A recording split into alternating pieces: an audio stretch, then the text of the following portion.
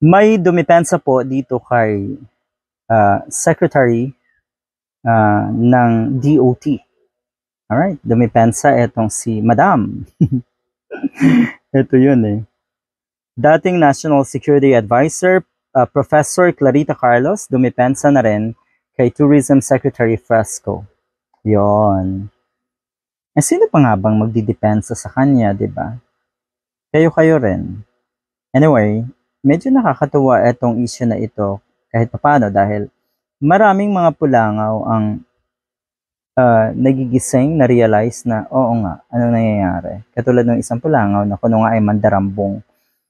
Kung sino man yung kanyang tinutukoy, sa tingin ko ay nagre-reflect din yon sa kanyang sinuportahan na nasa Malacanang. Alright. Sabi ni Carlos, eto, dumipensa na rin si dating National Security Advisor at ngayon ay Chief Advisor ng House Speaker na si Prof- Professor Clarita Carlos laban sa pamumuna kay Department of Tourism Secretary Christina Frasco. Parang ayaw nilang punain. Okay? Huwag niyo kasing punain. Antayin niyo magpaliwanag. okay, parang ganun ang gusto ng mga yan. Puna, puna agad kayo ng puna. Diba? Huwag niyo daw punahin ha, punahin pala. Anyway, yon ayon kay Carlos, eto yon sa higit anim na buwan niyang pagsisilbi sa gab- gabinete, anim na buwan, ito yung unang proyekto ata or malaking proyekto, multimilyong proyekto. Pero sablay agad at kahihiyan ang idinulot sa bansa natin. Di bali na sana ang kahihiyan lang nila. Totoo yun naman, malaking kahihiyan talaga dito sa secretary. Ang dami nga or malakas nga ngayon ang panawagan na mag-resign siya. Pero tignan natin kung ano yung anong level ng delikadesa meron siya. Tignan natin yan.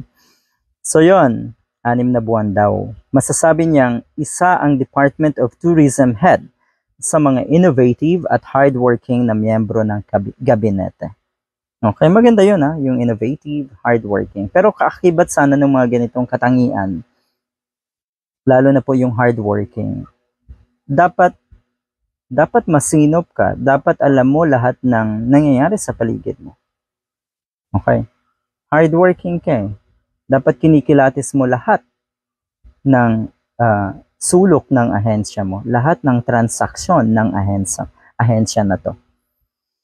At uh, yun nga, innovative. Diyos ko po, yung, yung pagiging innovative, ano? Tapos ganito, innovative pero hindi hindi nakita, hindi napansin, sadyang hindi pinansin, yun ba yun? Matindi rin eh.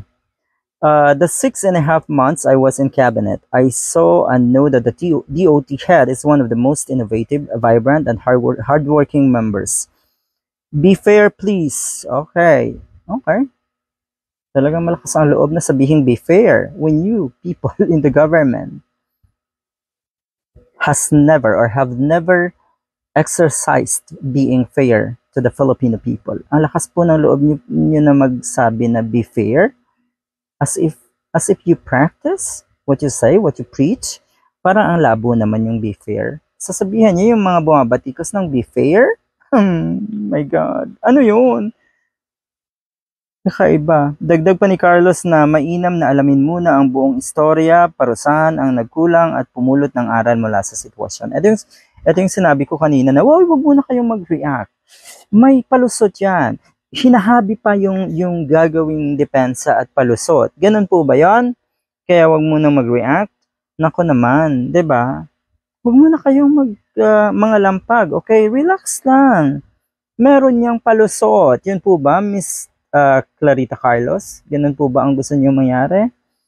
Hindi naman kayo nasanay na gano'n na gano'n ang nangyayari. Ayaw niyong mag-react dahil gagawa pa muna ng palusot. Hahanap ng paraan para malusutan. Paano or ano ang mangyayari sa ating bansa kung ganun ang mentalidad na itong mga nasa gobyerno? Nako, talagang paurong tayo. Ano ho?